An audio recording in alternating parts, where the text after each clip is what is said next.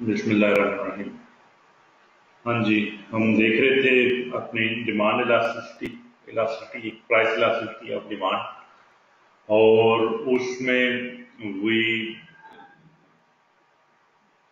हम डेवलप कर चुके हैं अब तक अपनी understanding for determinants in demand elasticity elasticity की जो डिटर्मिनेंट्स हैं, वो क्या चीज़ें हैं?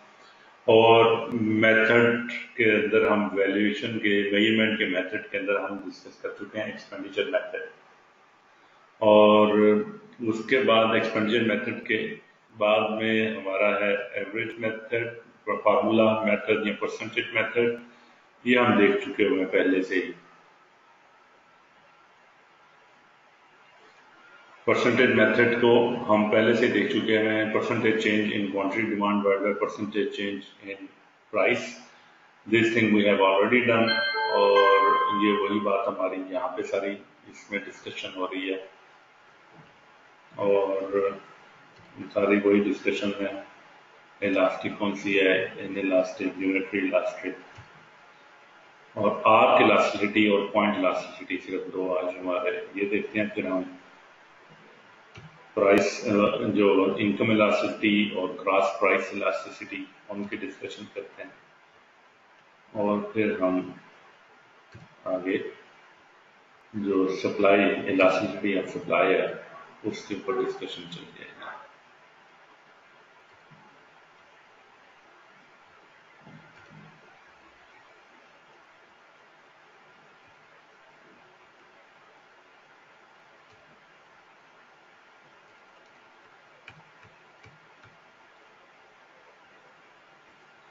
जी। मेज़रमेंट हम देखते थे इलास्टिसिटी की मेज़रमेंट उसकी डिस्कशन तो उसके अंदर कहा कि एक तो फार्मूला हमने देखा था पहले कि साहब आपके पास percentage change in quantity demanded by by percentage change in price तो एक फार्मूला यहाँ पे हमें उन्होंने कहा कि आप उसकी बजाय आर्क इलास्टिसिटी अगर आपने पता करनी हो आर्क इलास्टिसिटी क्या है? कि दो डिफरेंट पॉइंट्स हैं जो एक आर्क के ऊपर है, एक गर्व के ऊपर है, उनके दरमियान की नासिर थी। थोड़ा सा उनकी आपस में फासला है। P1 और P2 का और Q1 और Q2 का फासला मौजूद है। उसके दरमियान में जो आलम की नासिरी भी है we want to discuss about that two different points on the demand curve is arc velocity or arc velocity is the average average responsiveness to price change Q2 minus Q1 divided by Q2 plus Q1, P2 plus P1 divided by P2 minus P1. इसमें फ़र्क क्या है जो हमने पहले formula देखा था क्या था Q2 minus Q1 divided by Q2 plus Q1 divided by 2 then divided by 1 फिर वही कहते थे P2 minus P1 divided by P2 plus P1 divided by 2 ये एक हम फॉर्मूला यूज़ करते थे यार उसी को उसी को आप सिर्फ़ क्या कर रहे हैं? कि वो कह रहे हैं कि आप एवरेज आउट ना कर लें? आप सिर्फ़ ये इसको सिर्फ़ ये चीज़ आप देखें। फार्मूला चेंज कर दिया average zero divide by two नहीं कर रहे हम यहाँ नीचे वाले यहाँ पे हमारा डिवीज़न था, अब यहाँ पे मल्टीप्लीकेशन आ गई। मल्टीप्लीकेशन की वजह से क्या हुआ? जो प्लस वाले साइन वाले थे, वो ऊपर चले गए और माइनस वाले साइन वाले नीचे आ गए। नथिंग एल्स कोई चेंजिंग वही जो हमारे पास, जो हम पहले देखते रहे, फार्मूला, उसी फार्मूले को इन्होंने यूज़ किया। कोई आर्क इलास्टिसिटी के लिए डिफरेंट सा फार्मूला नहीं यूज़ किया। ठीक है जी? और उसी का एक अलग वेरिएशन कि change in Q over change in price, multiply by price divided by quantity. और ये प्राइस कौन सी है? एवरेज और ये क्वांटिटी कौन सी है? एवरेज एवरेज क्वांटिटी लेने और एवरेज प्राइस लेने यहाँ पे पहले हम क्या करते थे? परसेंटेज चेंज पहले हम कह रहे थे परसेंटेज चेंज अब परसेंटेज की जगह कहते हैं आप परसेंटेज को छोड़िए।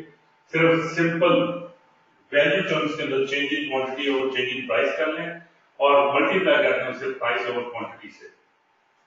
और फिर ये मल्टीप्लाई मल्टीप्लीकेशन से हुआ क्या?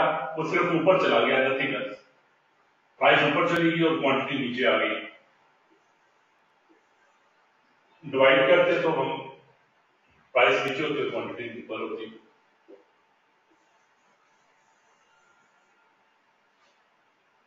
ठीक है और इसको फार्मूला है नथिंग एल्स उसकी कोई नई चीज़ कोई नहीं है कोई डिस्कशन नहीं, है वही जो बातें हमारी हैं कि जनाब इलास्टिसिटी होती क्या है उसको कैसे? तो ये हम डिस्कस कर रहे हैं कि how this can be measured तो उसके लिए उन्होंने एक नया तरीका वारदात बता दिया कि एक तो आपको हमने फार्मूला दिया था ये वाला परसेंटेज मेथड ये परसेंटेज मेथड आपको दिया हुआ था। This percentage method percentage change in quantity demand और परसेंटेज चेंज इन प्राइस एक ये फार्मूला था। कुछ फार्मूला आपको और दे दिए। कि उनके नाम हमने डिफरेंट रख दिए। अब हमने फार्मूले का नाम रख दिया arc elasticity arc elasticity method उसको हमने ये फार्मूला दे दिया। ये फार्मूला दे दिया these two both are for arc elasticity clear है? और फिर कर दी पॉइंट क्लासिसिटी आर के बाद फिर पॉइंट क्लासिसिटी क्या है? सिंगल पॉइंट के ऊपर। सिंगल पॉइंट के ऊपर, एक ही जगह पे ऊपर। जिस एक पॉइंट के ऊपर हमें इलास्टिसिटी पता करनी है। तो कहते हैं, कोई इशू नहीं है। आपने ऊपर क्या किया था? आर क्लासिसिटी के अंदर। यहाँ पे आपने एवरेज यूज़ की थी। एवरेज को खत्म कर दें। पॉइंट क्लासिसिटी आ जाएगी। Change in quantity divide by change in price multiply by price over quantity. Nothing. तो इसके अंदर नई चीज़ होगी This is point classicity. Lower point of the demand curve divided by the upper point of the demand curve. ये demand curve जा रही है lower point और upper point कितनी है इससे ज्योमेट्रिकली हम बता रहे हैं हालाँकि मुश्किल आर्क और पॉइंट इलास्टिसिटी तो मुश्किल है? मुश्किल है? मुश्किल है?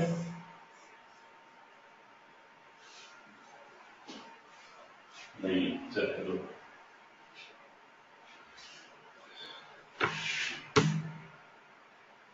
Then we have something like.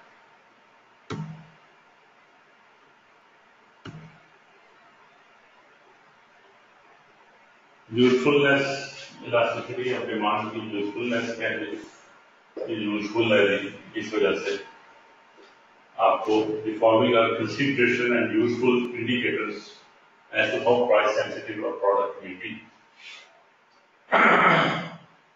वो जो हमने डिटर्मिनेंट्स देखे थे वही तकरीबन यहाँ पे बात है डिटर्मिनेंट्स में भी हमने यही बातें की थी और तकरीबन यही बातें यहाँ पे proportion of income spent on the goods जितनी इनकम ज़्यादा स्पेंड करेंगे, उसमें थोड़ी सी भी फ़र्क आएगा तो आपकी डिमांड के ऊपर असर होगी। अगर इनकम थोड़ी स्पेंड करेंगे तो आपकी डिमांड के अंदर उसकी प्राइस के साथ फ़र्क नहीं पड़ेगा सब्सिट्यूट्स की availability degree of brand product loyalty whether the good is necessity or luxury whether change in made in long run or short run तो वो डिटर्मिनेंट्स के अंदर भी हमने यही बातें नहीं पढ़ी थी। यार जिन लोगों ने सैटरडे वाला और उससे पहले वाला लेक्चर अटेंड किया था, उन लोगों की बात हो रही है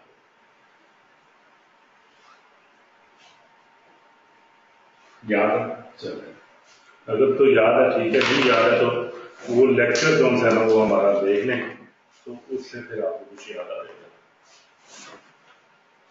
अच्छा जी, अब हम चलते हैं। ये तो इनकम डिमांड साथ वाली बात चलिए प्राइस इलास्टिसिटी में। अब हम देखना चाह रहे हैं इनकम इलास्टिसिटी और क्रॉस प्राइस इलास्टिसिटी ये क्या बात है? अब मैंने सर, ये क्या आप किसने बताना शुरू कर दिए ये हम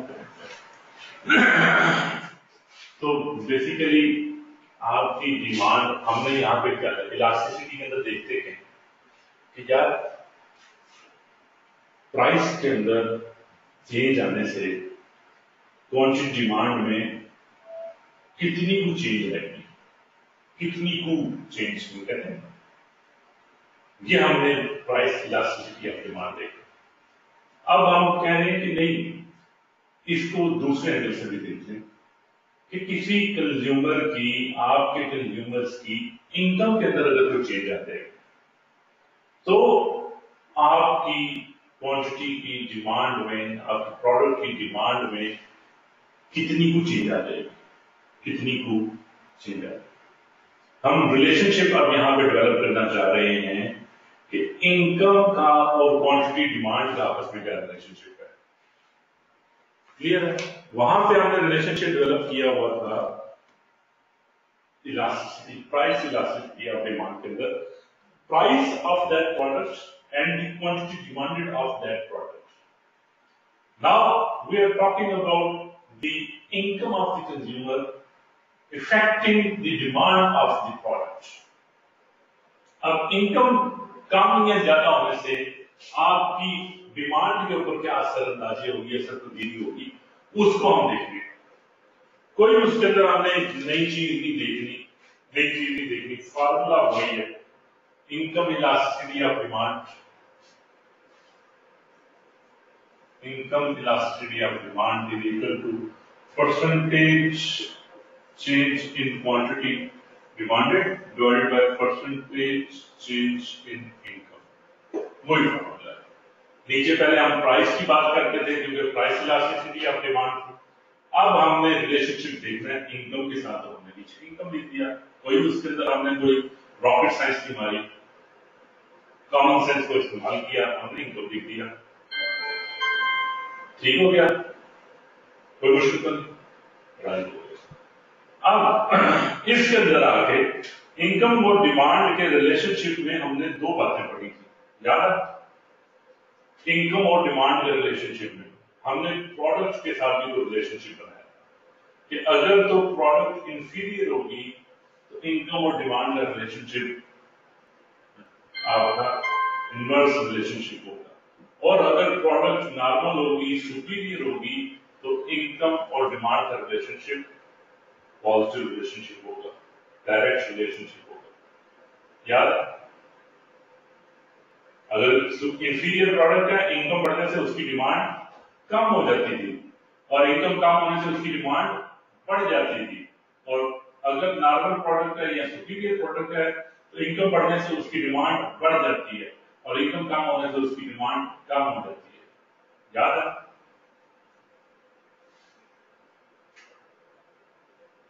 लेट्स ड्रॉ एन एग्जांपल हमें हमें यानी कि इसमें दो मामला होंगे। एक तो मामला होगा, inferior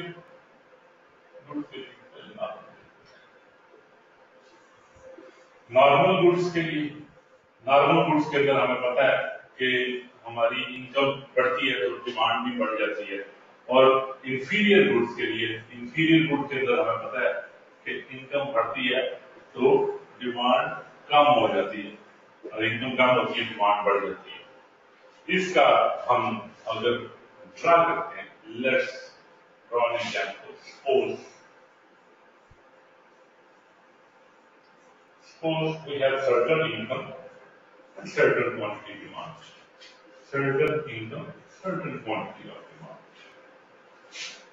100 or incoming payroll 200.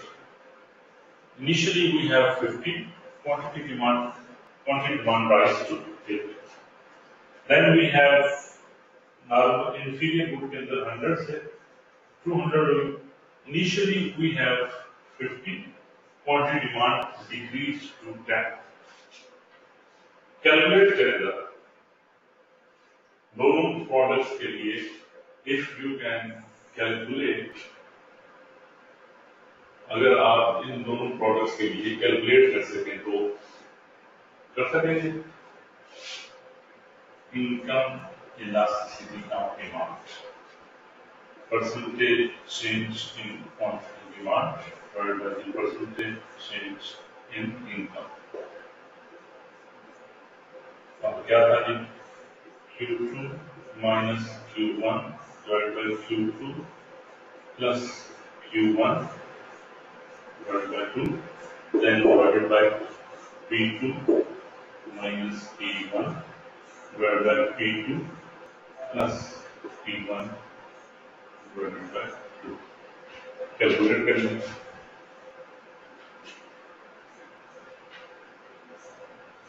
eighty minus fifty divided by eighty plus fifty divided by two, then we have divided by that is two hundred minus one hundred p नहीं आएगा आएगा आएगा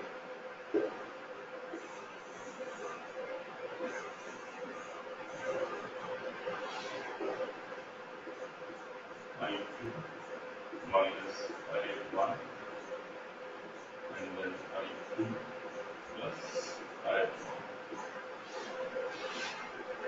divided by two hundred plus one hundred divided by two.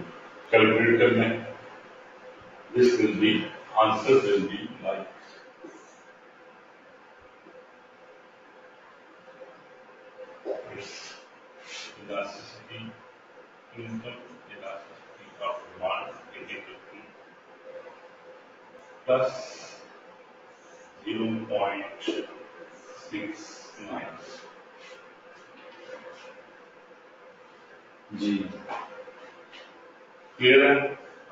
दूसरी जाने वाले दूसरी जाने थे इसका भी income elasticity of demand percentage change in quantity demand divide by the percentage change in income that वही बातें जो सारी ये वही बातें हैं, आप करके वही लिख लेंगे। हम यहाँ पे फार्मूला वही है। Then, our 10 minus 50 but uh, 10 plus 50 divided by 2 then divided by I1 I2 Jaji 200 200 minus 100 divided by 200 plus 100 divided by 2 and internal elasticity of mass is equal to here the constant will be minus 0 0.99.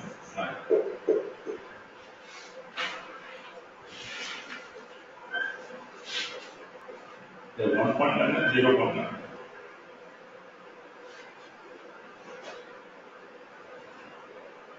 Disha is 1.9 0.9.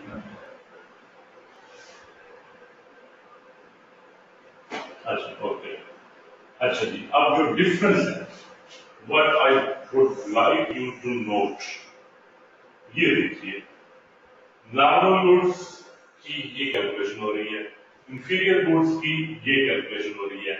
ये उनका demand schedule है with income ये inferior good का demand schedule है with income अब उसका answer के ऊपर नज़र करें।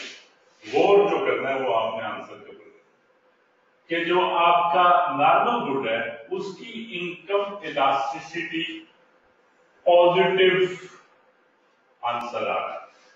और जो इंफीरियर गुड है, उसकी इनकम इलास्टिसिटी का नेगेटिव आंसर आ रहा है।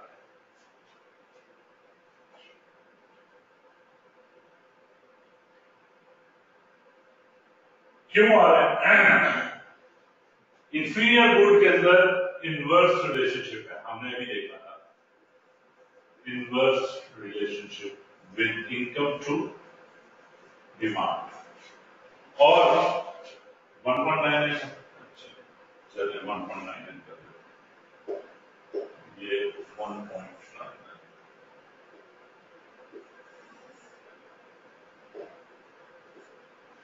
जी इंफीरियर गुड के अंदर इनवर्स रिलेशनशिप है, और जो आपका नॉर्मल गुड है, इसके अंदर डायरेक्ट रिलेशनशिप है। याद है? यहाँ पे इनकम बढ़ती है तो डिमांड भी बढ़ती है डायरेक्ट रिलेशनशिप है।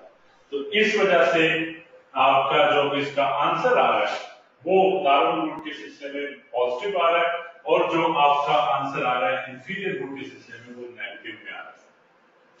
अच्छा अब जो हम बात कर रहे थे, सर, ये तो ठीक होगी आपकी बात। यहाँ तक हम समझ आ गई कि पॉजिटिव आंसर आएगा, किसी भी इनकम इलास्टिसिटी ऑफ़ डिमांड को पॉजिटिव आंसर हमारे सामने लिखा हुआ होगा तो हम समझ जाएँगे ये नॉर्मल ग्रोथ है।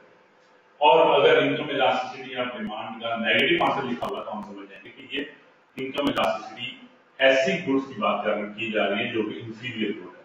ठीक है? ये ये यहाँ पर तो ठीक है। लेकिन इंटरप्रिटेशन कैसे करनी है? इंटरप्रिटेशन का वही तरीका है। इंटरप्रिटेशन आपने आपने इंटरप्रिटेशन के लिए यही देखना है। कि if this is more than one less than one वो जो हमारी डिस्कशन थी, वो वही है। As this is less than one so it is relatively inelastic.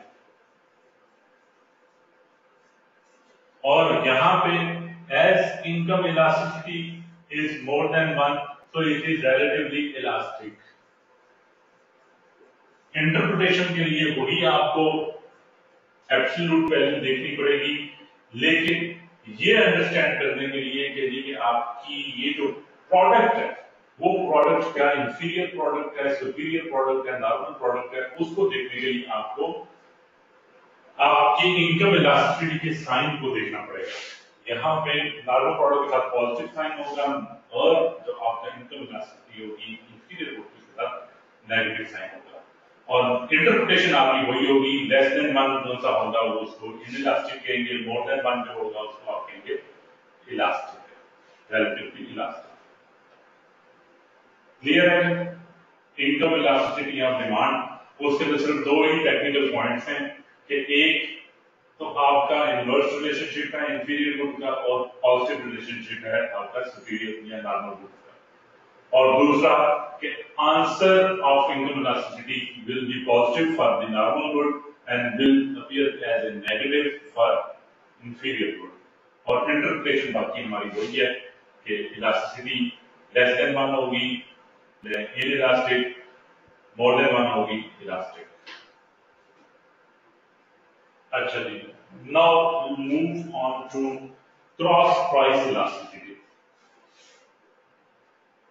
we are moving to cross price elasticity. Cross price elasticity.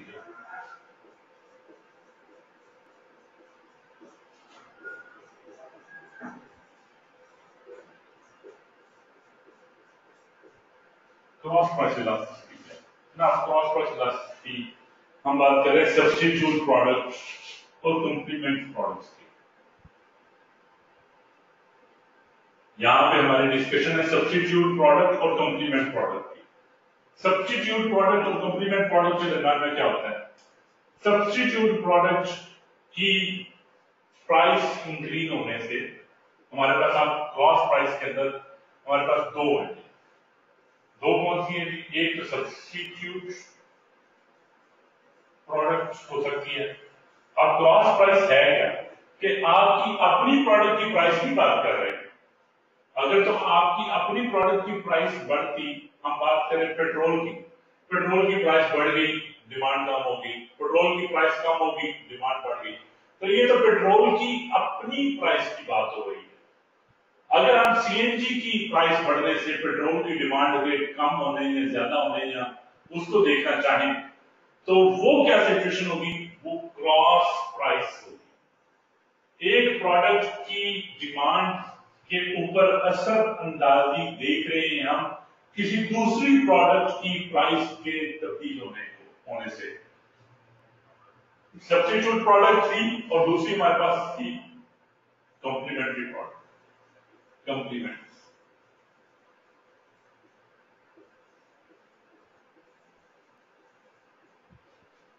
complementary product अब substitute product के साथ क्या होता था?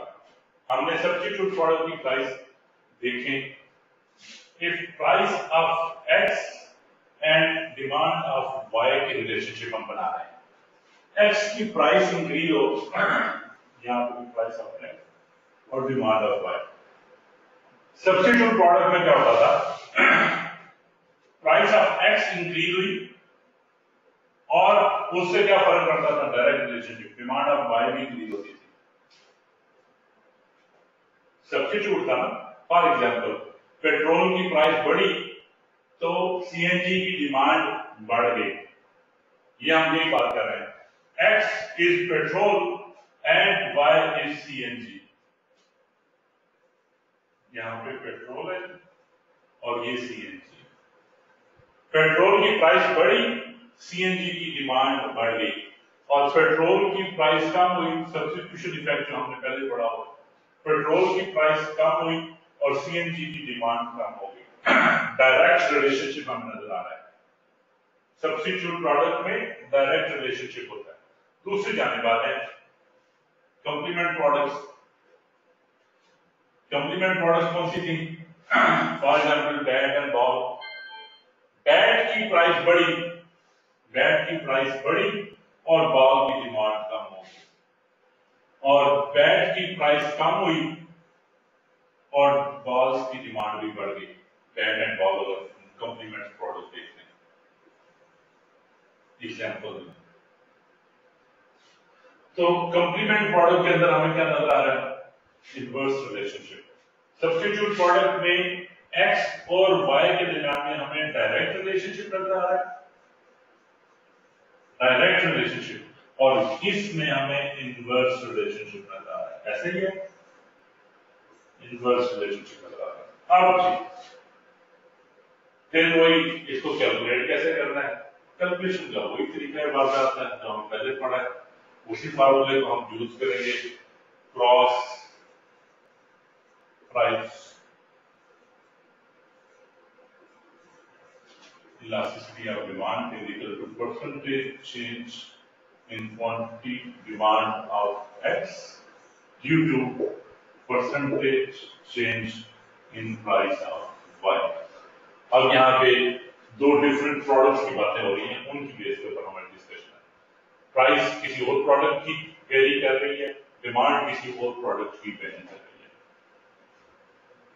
क्लियर है? तो मुश्किल तो नहीं है इसके अंदर? अब फिर वही मामला हम देख लेते हैं। एक हमारे पास सब्सिट्यूट होगा, एक हमारे पास कॉम्प्लीमेंट होगा। सब्सिट्यूट और कॉम्प्लीमेंट प्रोडक्ट्स सब्सिट्यूट का हम डिमांड कर्व बना लेते हैं डिमांड स्केड्यूल बना लेते हैं। Quantity of X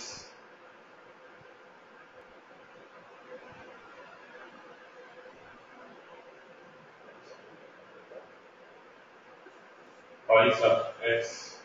and quantity of y and here again price of x and quantity of y. Price of x, if price of x is 100 and quantity of y is 10. If price of x reduced to 50, quantity of x, quantity of y reduced to 8. Direct relationship. Price reduce हुई price reduce हुई quantity demand भी reduce हुई price increase हुई quantity demand भी increase हुई direct relationship जो हमने यहाँ पे देखा डायरेक्ट रिलेशनशिप सब्सिट्यूट प्रोडक्ट के लिए। दूसरी जानब हमारे पास है। If price was 100 complement products की, and which is reduced to 50 and demand was 5, it has increased to 8. Complement product की price reduce हुई demand increase price reduce हुई demand increase price increase हुई demand reduce हुई ठीक है जी तो वो इनवर्स रिलेशनशिप जो हमने बातें की थी वो सारी बातें यहाँ पे भी हमारी लागू होती हैं इसको दोनों जाने की डिस्कशन हमारे पास cross price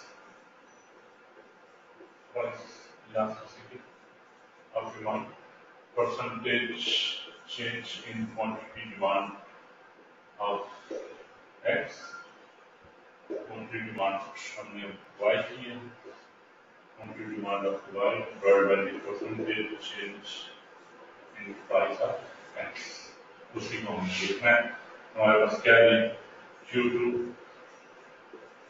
minus Q1 divide by Q2 plus Q1 divide by 2 and against P2 minus अभी Q2 की जो बातें हो रही that is y Q of y Q of y Q of y Q of 1 price of x minus 2 minus price of x 1 x1 divided by the price of x2 plus price of x1 divided by 2 वही सारा formula कोई नई चीज़ हमने यहाँ पे discussion नहीं की calculation कर लें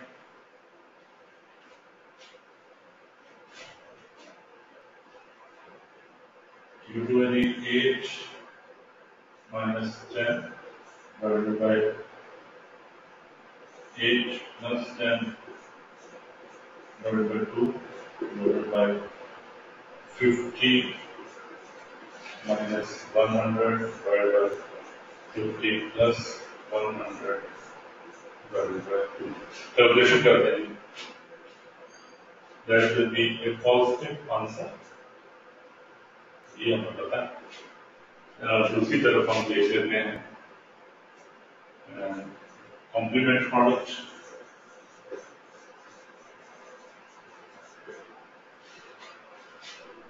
point three three zero point three three is the answer in this case and then again यहाँ पे भी q2 of y minus q y of 1 divided by q y 2 plus q y 1 and again px 1 plus 1 x 2 minus px 1 divided by px 2 plus px 1 divided by 2 तो कुछ कर लेंगे इसकी भी यहाँ पे हमारा Q2 था H 8 minus 5 divided by 8 plus 5 divided by 2 then again 50 minus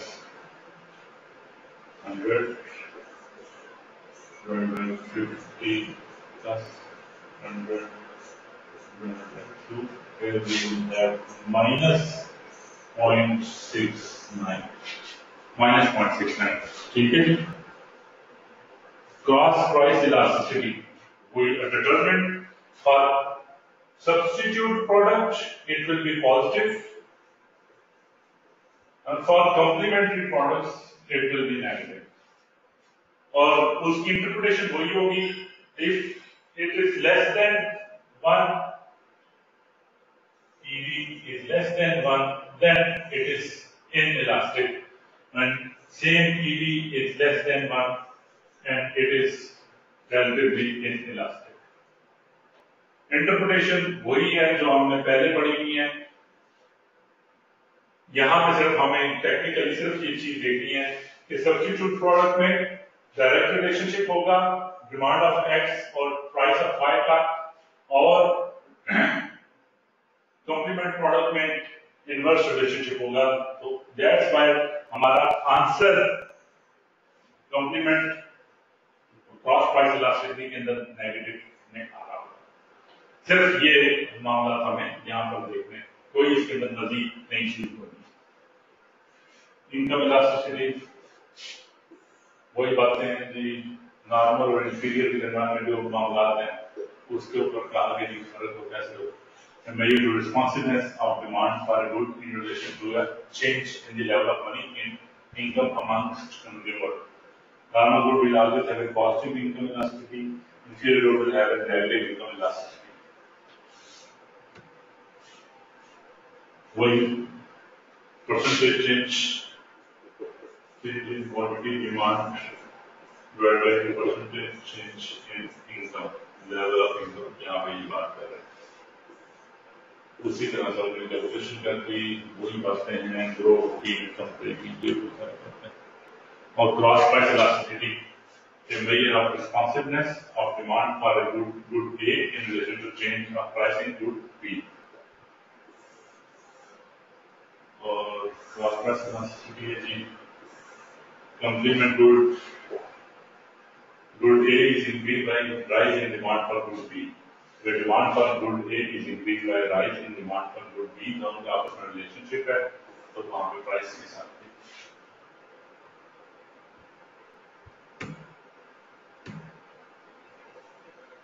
जी बाकी as we have already discussed close में नई चीज़ नहीं क्लियर है कोई इसमें इशू कोई डिस्कशन तो बात, कोई प्रॉब्लम कोई मसला, कोई मसाइल।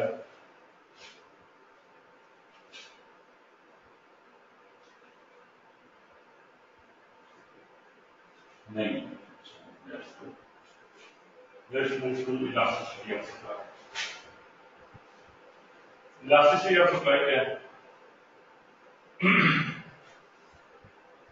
अब तो इतनी इलास्टिसिटी आपने पढ़ी, आपको तो जबानी याद हो जाना चाहिए।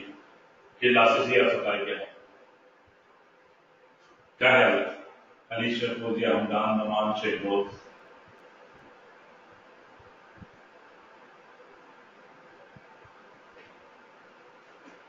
Norfolk, anybody home? रहे हैं सो रहे हैं। अभी तो जवाब आ रहे थे नौ अड़तालीस तक तो आ रहे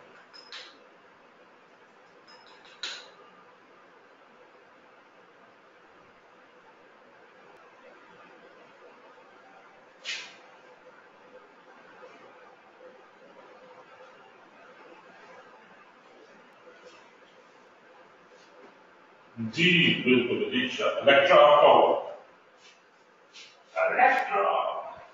आपका नहीं सब हुआ याद अच्छा जी सेम वही बातें हैं इलास्टिसिटी या सप्लाई कोई नई बात नहीं हमने इसके अंदर करनी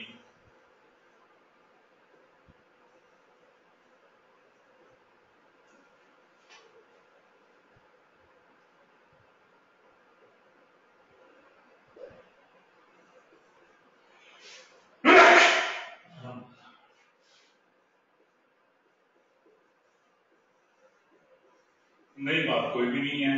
सारी वही बातें जो हम पहले देखते रहे हैं। उसने कहा जी इलास्टिसिटी ऑफ़ सप्लाई क्या जी? इलास्टिसिटी ऑफ़ सप्लाई कोई इशू नहीं है। वही जो आपने पहले बातें की percentage change in quantity demand quantity supply यहाँ पे सप्लाई आ जाएगी।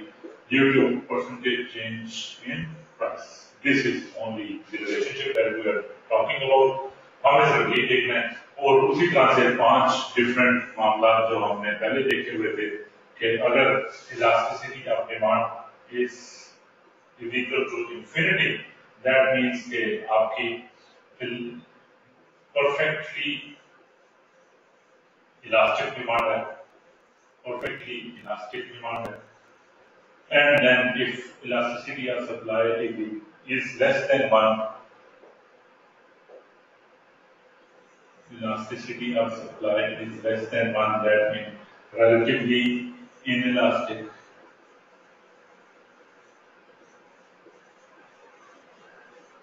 And if we have elasticity of supply is equal to one unit elastic, and then we have elasticity of supply absolute value more than one, then we have in relatively elastic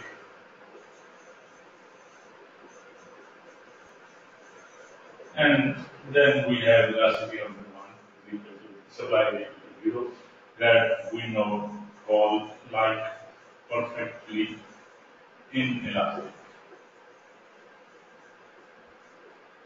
ये वही पांचों बातें हैं जो हमने पहले भी देखी हैं कोई इसमें नई बात हमने नहीं देखनी फार्मूला भी वही है इसी को फार्मूले को अगर हम elasticity of supply is equal to percentage change in quantity supply due to percentage change in price.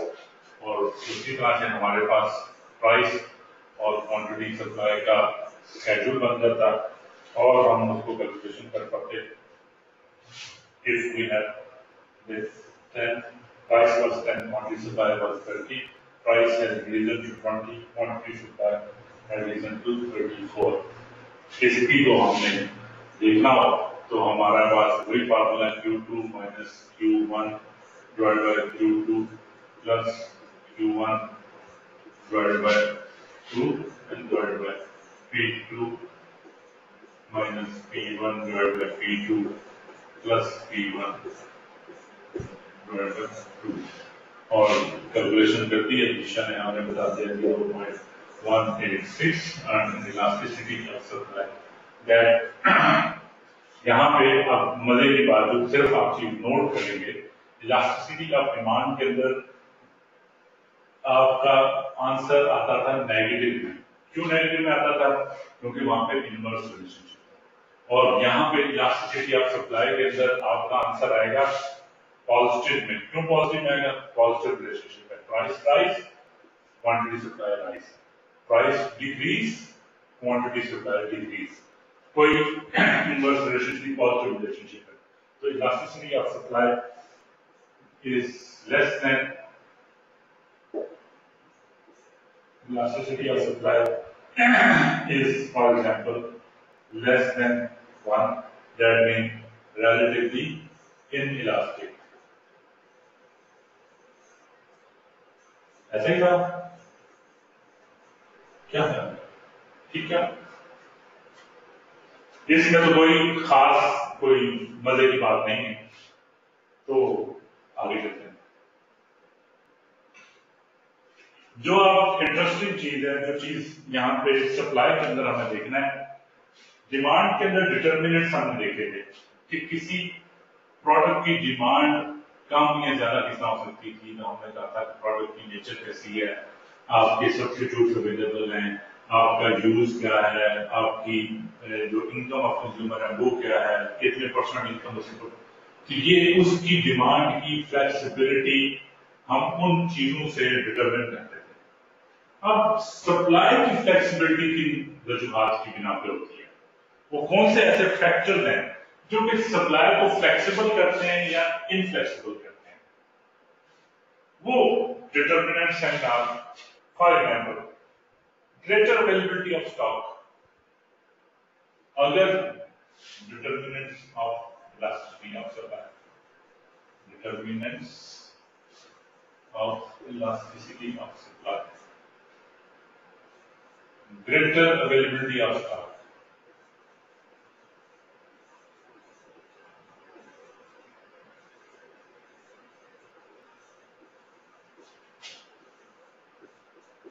हमने क्या पढ़ा था? प्रोडक्शन करता है प्रोड्यूसर और पहले वो स्टॉक में जाती है स्टॉक में हो तो फिर वो सप्लाई नहीं करता है। ऐसे ही ना? Stock is something else and supply is something else supply वो चीज़ है जो कि मार्केट में उसने सेल के लिए अवेलेबल कर दिया है, और स्टॉक वो चीज़ है जो कि प्रोड्यूस किया है, और अभी मार्केट में उसने अवेलेबल फॉर सेल नहीं की, क्योंकि उसको उसकी मर्ज़ी की प्राइस नहीं मिल पा रही। वो अभी राज़ी नहीं है उसको सेल करने के लिए। तो अगर सप्लायर के पास होल्ड कर रहा होगा स्टॉक तो उसके पास फ्लेक्सिबिलिटी होगी कि वो फिर अपनी सप्लाई को अपनी मर्ज़ी से ऊपर, नीचे, आगे, पीछे कर सकता होगा। अगर कोई तरह की प्रोडक्ट है जिसको कि वो स्टॉक कर नहीं सकता फॉर एग्ज़ाम्पल इलेक्ट्रिसिटी सप्लाई आपने जितनी प्रोड्यूस हुई सारी की सारी आपने सप्लाई करनी ही करनी आप you are unable to store it तो आपको लाजमी बात है कि मार्केट में जो प्रोडक्शन किया जो जो प्रोड्यूस किया है, आप उसको मार्केट में सप्लाई करने पर मजबूर होंगे। आपकी elasticity of supply will be less inelastic supply होगी। आप प्राइस में कमी ज़्यादा की चक्कर में आप अपनी सप्लाई को रोक नहीं सकेंगे। आप सिर्फ़ यहाँ पे मैंने जब पहले भी सप्लाई की बात की थी, आपको सोचने का जाविया फ़र्क होगा। यहाँ से आप प्रोड्यूसर के तौर पे सोच कि मैं एज ए प्रोड्यूसर अपनी सप्लाई को फ्लेक्सिबल कर सकता हूँ या नहीं कर सकता। अगर तो मैं अपनी सप्लाई को स्टोर कर सकता हूँ स्टॉक कर सकता हूँ तो मैं अपनी सप्लाई को, अपनी प्रोडक्ट की सप्लाई को फ्लेक्सिबल होगी इलास्टिक होगी। अगर मैं स्टॉक नहीं कर सकता हूँ will definitely be supplies in elasticity. I will have to sell whatever I produce. Or second is ability to switch resource from one product to another.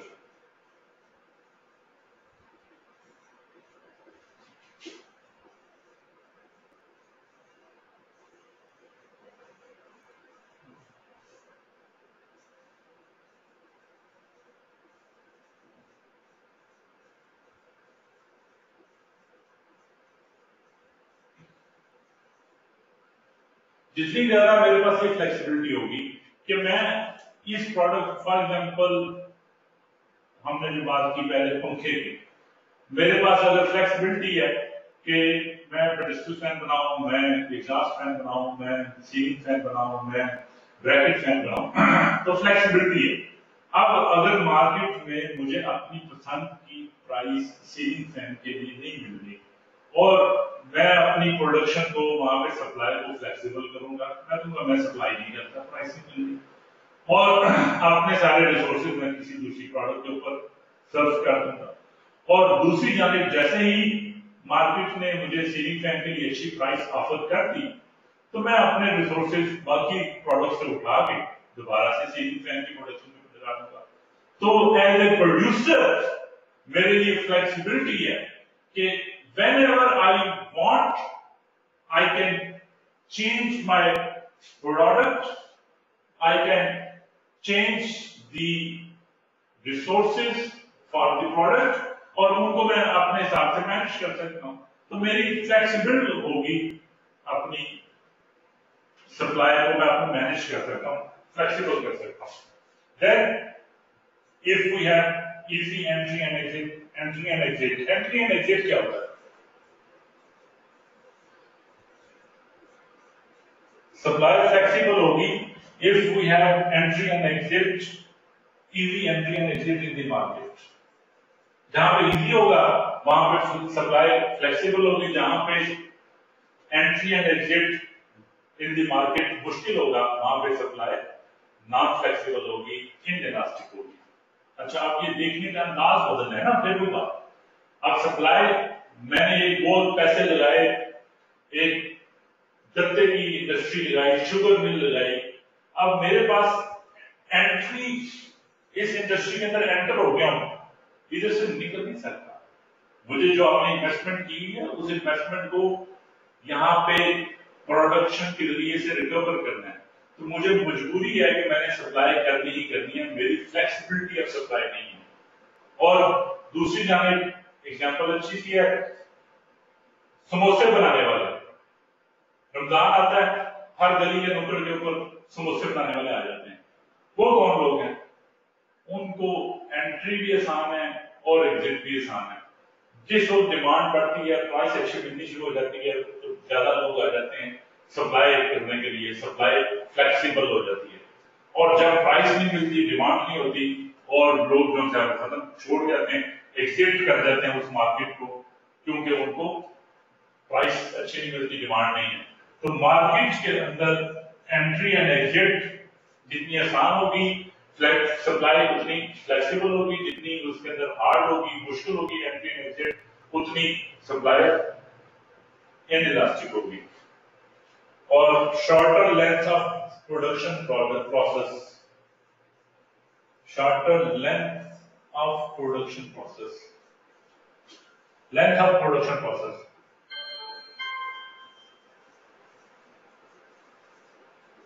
अब प्रोडक्शन प्रोसेस शॉर्ट होगा तो फ्लेक्सिबिलिटी होगी आपकी supply elastic होगी production process अगर long होगा तो in elastic होगी, आपकी फ्लेक्सिबिलिटी इन इलास्टिक होगी, आप फ्लेक्सिबल नहीं हो सकेंगे तो length of production process will also effect the elasticity of supply. Let's conclude here. Let's meet tomorrow. और फिर इनके ऊपर मजीद लेबोरेट करते हैं, किताब से इसको कंसॉलिडेट करते हैं, जो चीज़ें देखें। ठीक है? अल्लाह हाफिज।